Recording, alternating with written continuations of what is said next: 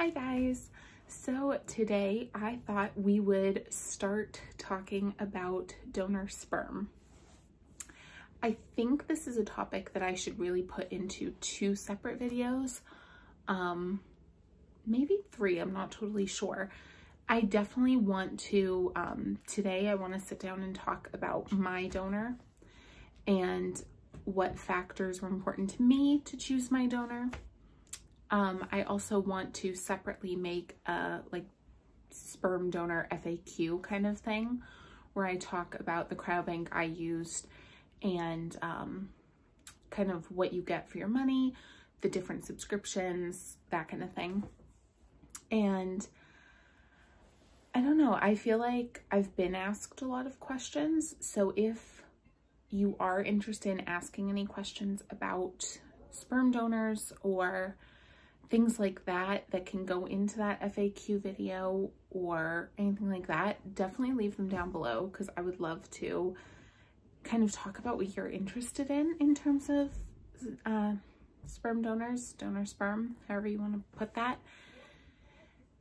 So, um, talking about my donor in particular, I will put two disclaimers here.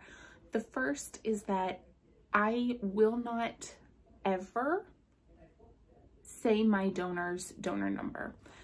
I don't think that is um, something I'm really comfortable with.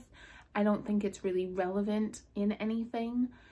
And my second point goes along with it. This donor no longer donates. Like he is no longer available for purchase even for me. So I feel like putting his donor number out there is just kind of not teasing, but like it's not going to help anybody. So that being said, I picked my donor in, um, I guess actually I should start by saying because I don't use his donor number, I don't use it in my day-to-day -day conversations with my family. I don't use it. I'm not going to use it on here. I do have a name for my donor. It is not his actual name as far as I am aware.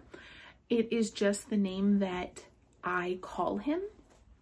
So this actually came about because I wasn't sure going into this process whether I wanted to admit to like colleagues and um like Facebook friends kind of thing if I wanted to admit that I was a single mom by choice. And so once I had purchased my donor, I started referring to him as Ted. So that is his name with my family. So I think originally that was part of it. That and the fact that I was torn between a couple donors and I was talking to my mom and my friend about it. And we were all getting confused with numbers. So I said, okay, we're going to call this one Ted and this one such and such. And I don't remember the name I used for him at this point. And it just kind of stuck. So if you ever hear me mention a Ted in videos, that is who it is. It is my sperm donor. Um, so again, that is not his real name. He's an, um, he's an anonymous donor for me. So I'm sorry about my cat. Um, so I will never know who he is, but he, um, he's anonymous to me choosing him as a donor. His profile lists him as an open donor on the website. And what that means, according to the sperm bank I used, was that by donating sperm, he agrees to meet every child that um, is conceived with his product at least once when they turn 18 if they choose to do so. So my son can choose at 18 years old to call up the cryobank, give this guy's donor number and say, you know, I would like to contact him. I would like to meet him. And he has already agreed to do that it's not one of the things that went into my decision at all. I had friends who you know, both ways. I had friends saying, oh yeah, that should definitely go into your decision because what if your kid is missing something in life and they want to know that other half? And then I had some people saying, but it's not their father and, you know, why make that a person that they can meet? And I saw both sides of the coin. So for me, it was just what it was. I picked a donor based on certain factors and the fact that he happened to be an open donor didn't help and didn't hurt that situation. That being said, um, the factors that I did use are very varied. Um, the biggest one for me was his health history and his family health history. So it's a big thing on my mom's side of my family that um, we have bad hearts. I personally do not, but my mom does, and um, both of my brothers do. So that was just something that, you know, I had a grandfather who died with a heart. I had an uncle who died with his heart. Hearts are just bad in my mom's side of the family. So it very much scared me and I knew that I was bringing, you know, bad heart genes to the table. I did have genetic testing. Um, I'm not going to go all the way into that, but I did find that I do have a, a heart gene um, that was at play. So when I was looking for a donor, I specifically looked for ones out of all of them who had really healthy hearts. So nobody in this donor's family has had any heart disease. No high blood pressure, no heart attacks, no um, like abnormalities in the heart, nothing. And that was probably my number one concern. Like if I'm ranking them, I did actually rank them when I was searching and a healthy heart was number one for me. So I narrowed that down to a couple different donors and then for me, and I don't know if everybody does it this way, definitely tell me if you did use donor, donor sperm, what did you look for? I would love to hear that. But I personally wanted somebody who was two things. One, who he would physically fit into my family. Um, and therefore my kids would. And two, that if this was a traditional relationship to conceive my children, he is someone that I would be attracted to.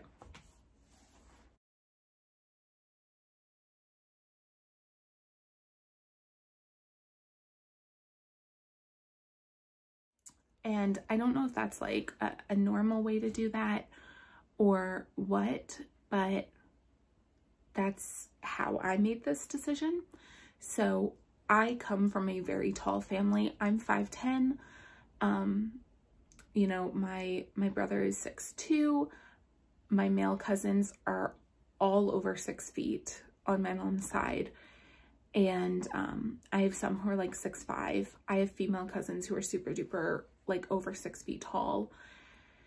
So for me, uh, height was a really big factor and it's also something that I'm attracted to. So it checked both of those boxes. So my donor is six five, And um, I am Irish. My mom's family is Irish. I see my mom's family because that's the side I'm closer to. My dad's family, um, I'm just not as close to them. So when we're all together, it's my mom's side of the family that we do like Thanksgiving with and um, visit in the summer kind of thing. So that's why I'm saying that. And my mom's whole side of the family is Irish.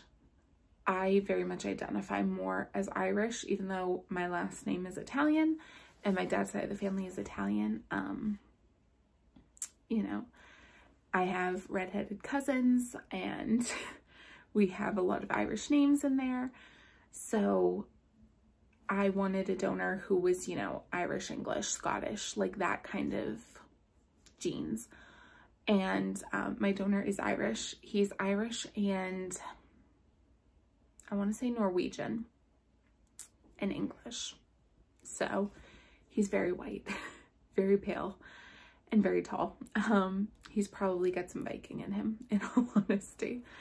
And um, honestly, that's also what I'm attracted to. I am attracted to tall Irish redheads. And that's my next point. I have redheaded cousins. I'm attracted to redheads. My donor is a redhead. Uh, strawberry blonde. So, um, physically, my donor is 6'5".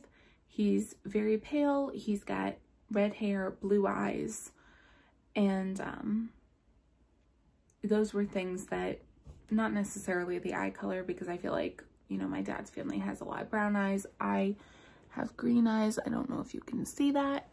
Sorry for getting up close and personal.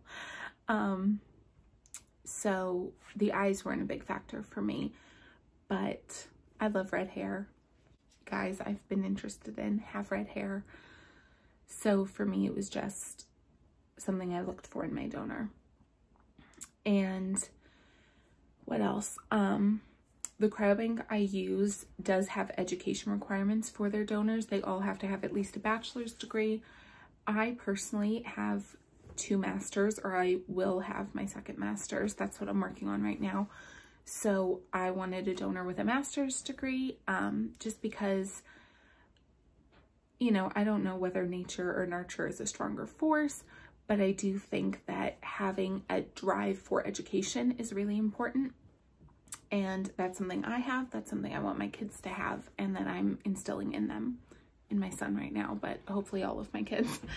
And um, so my donor has a master's in fine arts in theater. What I didn't think of when I chose this donor, and now I'm like, oh my God, I set myself up. You know, he's he's a theatrical person, obviously, if you have a master's in fine arts in theater. And I have been told by my family and friends that I am a tad bit dramatic as a human being.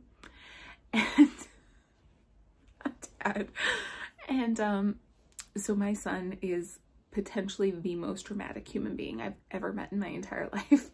he is, um, he's just very, very dramatic. He's got flair. He's got flair. Flair out the wazoo. So I really set myself up for that one with this donor. But um, those were kind of the most important things for me. I wanted someone who um, who could balance out my bad with his good in terms of genetics and who physically matched my family and my what I'm attracted to, my attractiveness, I guess. Um, and this donor really did. He also, I think I've talked about this before, I am plus size. Um, I had weight loss surgery and my BMI is still not great. And I do have um, a genetic component to my obesity as well. That's something that I found not only in my genetic testing, but also in um, a study that my bariatric surgeon did with a portion of my stomach. So I bring that to the table as well. Uh, genetically, I bring, you know, bad weight genes. Um, so I wanted a donor who was a really healthy weight and had a healthy BMI. So I don't remember exactly how much he weighs, but this donor, Ted, has like a really healthy weight. He's under 200 pounds at 6'5", so he's very slim. And I actually met with my bariatric surgeon while I was pregnant and I explained the situation to him and he's like, well, what's his BMI? And I told him his height and his weight and he calculated it and he's like, that BMI is amazing. Let's hope it evens out yours. Um, and he didn't mean it offensively in any way. And I took it the way it was meant that, you know, I don't want my kids to suffer with obesity. I don't want them to have that disease. And hopefully having a donor who has such a healthy weight and such a healthy BMI will work to my kids' advantage. And so far, Harry has a really healthy BMI, um, which isn't something they can totally calculate for, you know, toddlers, but he's tall. Um, he is very tall for his age, and as a result, he weighs more than the average 15 month old, but he's proportional and he's he's actually very slim. Like he is not he's not a big kid, he's a tall kid, which I'm totally fine with. So, um, I'm probably gonna have like a child that towers over me. It's fine. It's what I wanted. and, um, yeah, those were kind of the important factors for me was those certain physical attributes and educationally and health wise. There were other health factors that I looked at because I did get a lot of health information for his family. But honestly, I really lucked out with Ted that he and his family are really healthy people. Like they do not have a lot of cancers in their family. They don't have a lot of um, genetic anything. The worst I saw was um, addiction problems and an overdose death in the Stoner's family, which is definitely sad and um, is definitely something I'm aware of for Harry and my other kids in the future. But I think when I weigh that against something like heart disease, which is so prevalent in my family, I think that was something I was willing to like take a higher chance of addiction if it lowered their chance of heart disease if that makes sense. Um, so yeah, I don't know that there's any right way or right criteria to find your donor, but those are the choices I made and the criteria that I had and what I was looking for in my donor. So if you want to share what you were looking for in yours or what you will be looking for in yours, I would love to hear that. Or again, if you have any questions about um, the donor selection process or the cryobank or anything having to do with donor sperm, definitely leave that down below. I think that my next video will be like frequently asked questions about sperm donors. So definitely get your questions in soon. And um, I will talk to you guys. Bye.